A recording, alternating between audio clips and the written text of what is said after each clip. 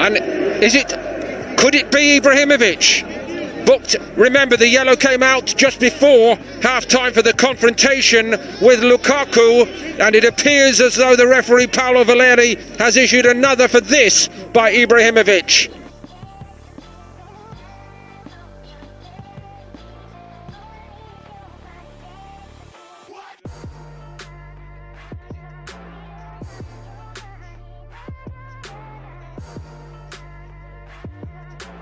Bye.